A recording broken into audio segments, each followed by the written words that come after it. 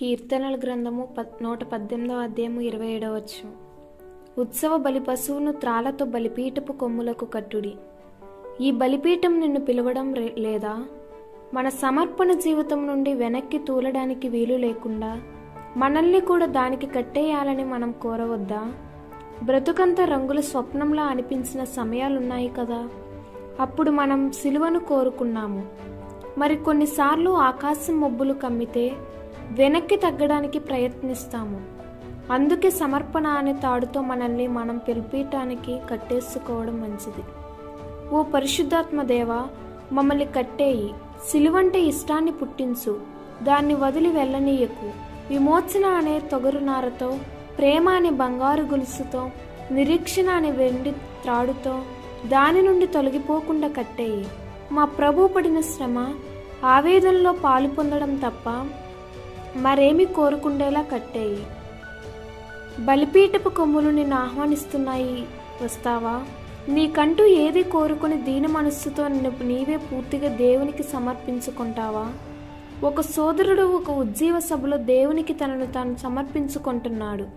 ప్రతిరోజు ముందుకి వచ్చి తన పాపాల్ని ఒప్పుకొని పరిశుద్ధుడుగా అవుతున్నాడు. ప్రతి రాత్రి మీటింగు నుండి ఇంటికి వెళ్ళిపోతుంటే సైతాను అతన్ని చేరి ఇంతకు ముందంతటికి ఇప్పటికీ ఏమి తేడా లేదే అని అతన్ని ఒప్పిస్తూ వచ్చాడు. అలా చాలాసార్లు శత్రువు అతన్ని వెనక్కి లాగాడు. చివరికి ఒక రోజున అతడు తనతో పాటు ఒక పెద్ద కొయ్య ముక్కను తెచ్చుకున్నాడు. ప్రసంగ వేదిక దగ్గరికి వెళ్ళి పరిశుద్ధుడైన తర్వాత తాను మోకరించిన చోట ఆ కొయ్య ముక్కను లోతుగా నాటాడు. ఇంటికి వెళ్ళిపోతూ ఉంటే ఎప్పటిలాగానే సైతాను వచ్చి ఇదంతా బూటకమే అని మళ్ళీ ఒప్పించడానికి ప్రయత్నించాడు. వెంటనే అతడు గబగబా ఆ కొయ్య మొక్క దగ్గరికి తిరిగి వెళ్ళి ఇదిగో సాతానా ఈ కొయ్యను చూసావు కదా.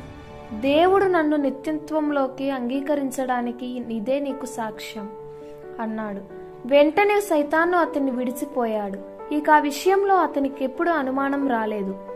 నీ సమర్పణ గురించి నీకెప్పుడైనా సందేహాలు కలిగితే ఎక్కడైనా ఒక గుంజను పాతి ఇది నీకు నీ దేవునికి కావాలంటే సైతానికి కూడా సాక్షిగా ఇక ఎన్నటికీ ఆ ప్రశ్న రాకుండా ఉండేలా నియమించు.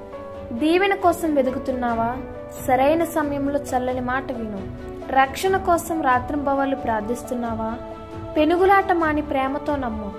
ప్రార్థనకి తగిన ఫలితం దొరకడం లేదా? ప్రార్థనని వెంటనే హల్లేలుయ్య పాటలుగా మార్చు.